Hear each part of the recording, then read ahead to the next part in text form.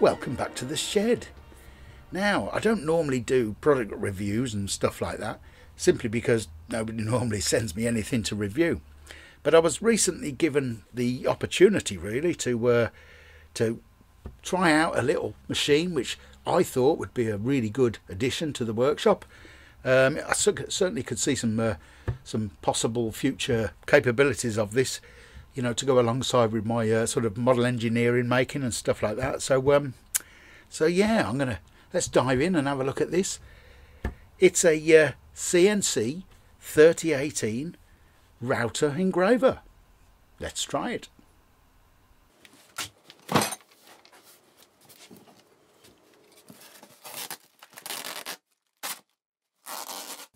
So, the machine arrived after a couple of weeks and I naturally opened it upside down, but otherwise it was well packaged and without any damages.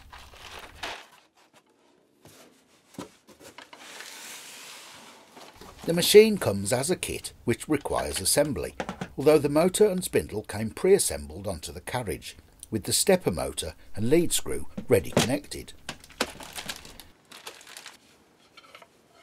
The machine chassis is constructed from extruded aluminium channel sections and phenolic resin panels. The bearing housings were all made from injection moulded hard plastics.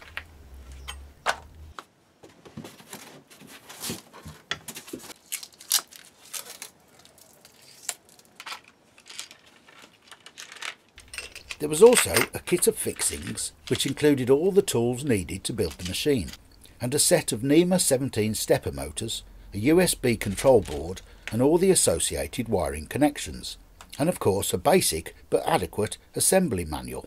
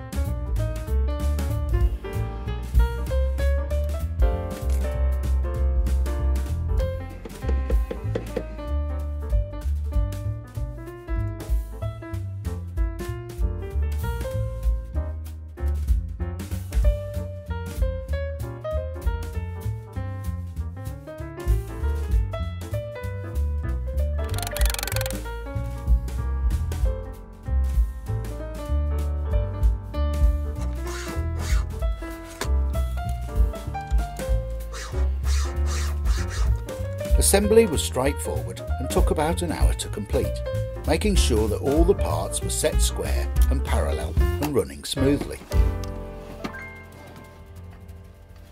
The motor housing is an injection moulded unit which clamps a 775 24 volt spindle motor, which is capable of 1000 RPM, and attached to this is an ER11 collet chuck fitted with the 1 8th of an inch collet to suit the supplied cutters. The product was supplied with a set of 10 identical V-type cutters to get you started, so one of these was fitted, ready for my first cuts. In reality, this wasn't actually my first carve, as I had done some test pieces before, but it was my first attempt on making something purposeful. The UGS software gives real-time feedback on the process of the carve, an estimated duration, and the blue lines indicating the remaining toolpaths of the job.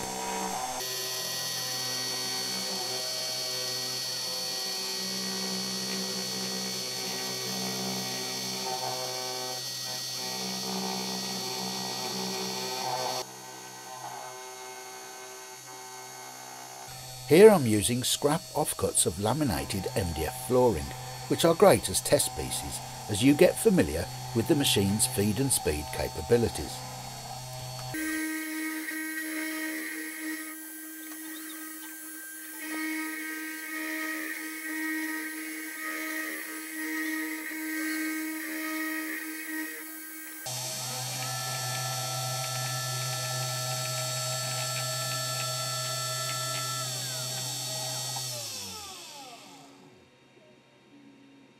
There it is finished. Took a while that. I think uh, I need to work on my settings, but uh, looks nice.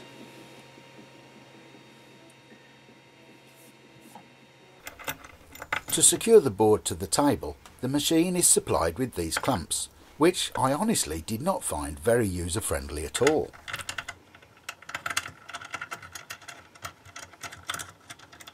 Okay, they work, but they're extremely fiddly to use, as the T-nuts easily become misaligned within the slots.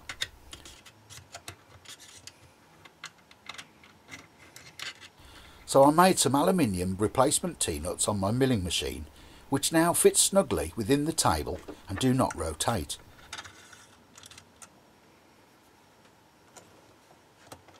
And I also replaced the wing nuts with some nice knurled brass thumb screws.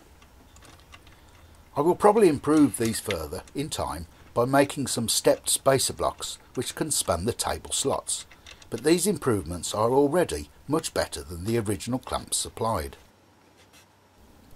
The V-bits supplied are not suitable for carving large areas, so I brought some additional 2 flute end mills for use in the chuck, to allow faster rough cutting of material, and also a 6mm collet which I hope to use with my pre-existing set of 6mm end mills that I use in my mill, although I haven't tested these out in the Mini CNC as yet.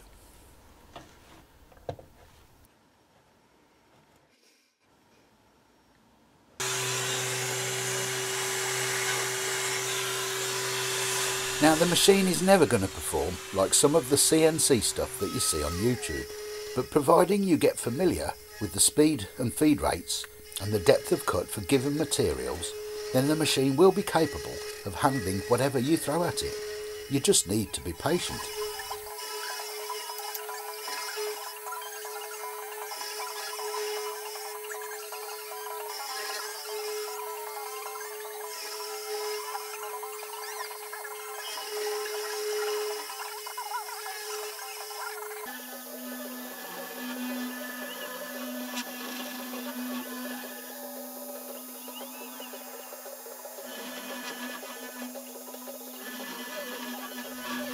For my designs, I've been using easel software from Inventables, which is very easy to create basic designs for carving, and all the speed and feed rates are easily managed within the software.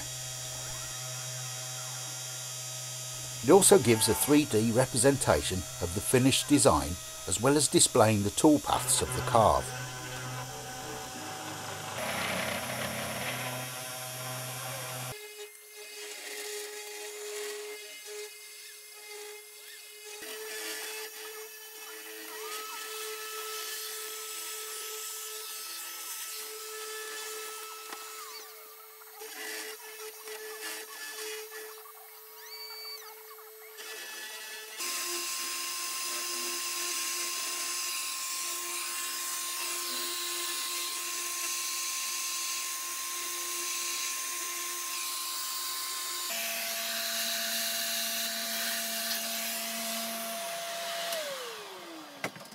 This sign for Mr Brown's shed was cut at 1.5mm deep with a 1 8th of an inch end mill and took about 45 minutes.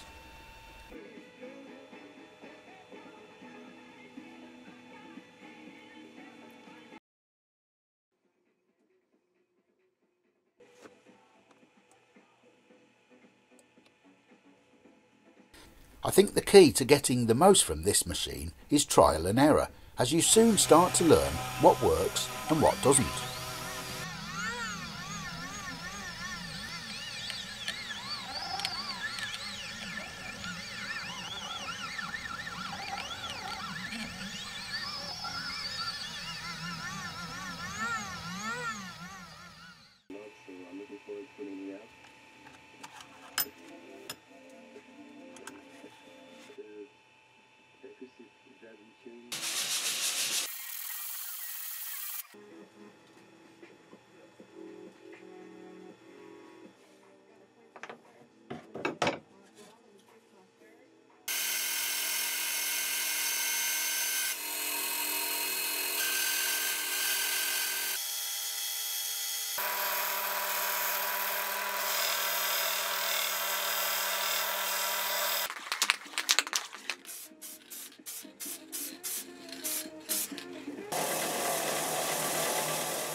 I'm sure many a stormtrooper would be proud to put their beer on this coaster.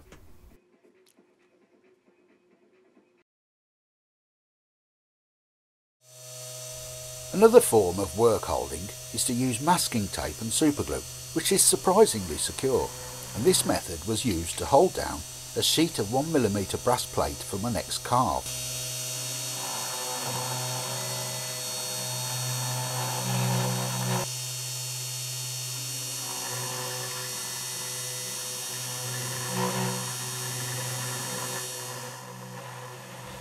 Now I still need to refine my settings somewhat and do more experimental cuts on metalwork as I haven't quite nailed this yet, but having a very slow feed rate and shallow depth of cut is definitely the way to go when engraving metals.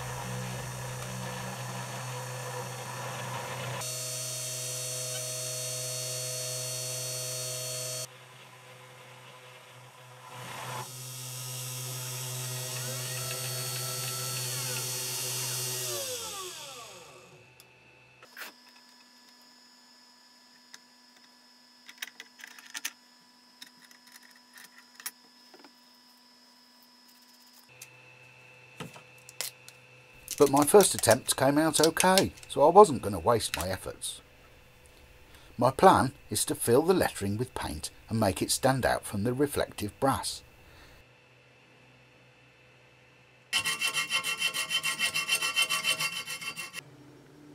And there is the finished plaque, ready to adorn one of my model engines.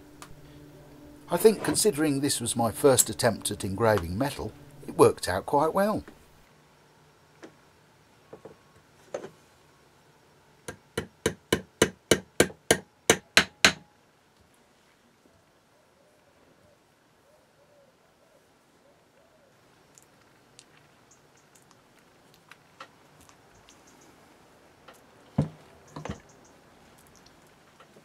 So there you have it, the 3018 Mini Engraver Router CNC machine.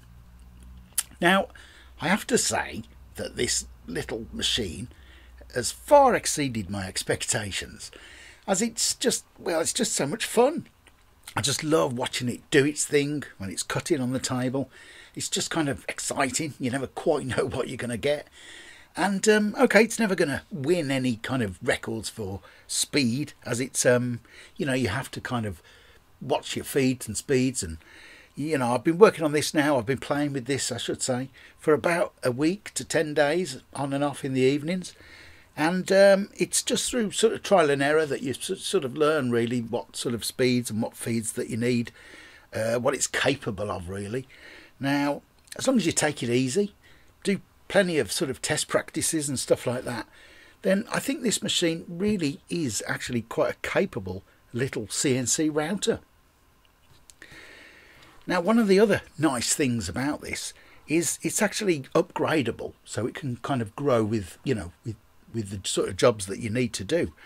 uh, you can you can get a faster, sort of higher powered um, motor for the spindle head. You can also buy extension kits if you want to make the actual um, the size of the the working area larger, and you can also uh, you know extend the height of this so you can get a, a board in there which is uh, a bit thicker, you know, thicker material if you want to work from that. So yeah, I mean it really is kind of you know it's expandable. Um, so I'm sure I'm going to have a lot of fun in the future with this, possibly upgrading it, doing a few modifications to it. I want to fit an emergency stop to it because the number of times it uh, scares the hell out of me, and I just want to hit stop. And there you are with the mouse trying to find the stop button. So yeah, I'm going to um, I'm going to do a few mods to this and and sort of improve it. But you know, on the whole, treat it gently, practice, and it's an absolutely fabulous bit of kit. Now, as a starter machine, the 3018 CNC is just the perfect introduction to, well, CNC machining really. And uh, I must say that all, all my concerns about learning new software and trying to understand, you know, machine code, G code, and stuff like that, well, it, it basically that it just wasn't a problem at all. I used the easel software, which um, you know it's it's it's well it's free to use fully functionally for 30 days but after that it's it's limited use but it still allows you to design stuff on easel and uh, you know export the g code and you know send send that to the machine via say you know g code sender which is what i use universal g code sender and um, yeah i mean it's it's it's just it's just great fun really i mean for a sub 150 pounds machine cnc machine it really is a fantastic introduction, uh, you know, to just start learning how to do CNC. Even if you're not going to take it any further, it's still just a great machine for, you know, making fun things like, um, you know, beer coasters and stuff like that. Or, you know, a sign for the rabbit shed like I've made there for Mr. Brown. Or, or just, you know, just some general, just stuff, just, just making stuff. It's just, um, well, it's just fun. you know. and, you know, what more with it being sort of, I mean, it's excellent value. It gives fantastic results after a little bit of understanding. And, uh, yeah, it's just simply lots and lots of fun. So, you know, I'm going to love it. It's going to be a great addition to the workshop. I'm not sure whether it's going to be able to do sort of, um, you know, cast iron and stuff like that. But I guess as long as you take the feeds and speeds right down, right slow, keep it all nice and slow, I'm hoping to be able to start sort of engraving, you know, like my initials in, in my uh, engines and stuff like that, you know, in brass and possibly cast iron, like I say. We'll see how that works out in another video. I'm not 100% sure whether it will, but like I say, we'll see. So, um, well, anyway, I hope you enjoyed uh, this little video of my sort of uh, first steps really into CNC machining. And, um, well, I'm sure we'll see a bit more of this little machine in the future on my channel. So, uh, well, I guess that wraps it up really. So, as always, um, thanks for being around. Thanks for watching. Hope you enjoyed this. I'll see you soon. Bye.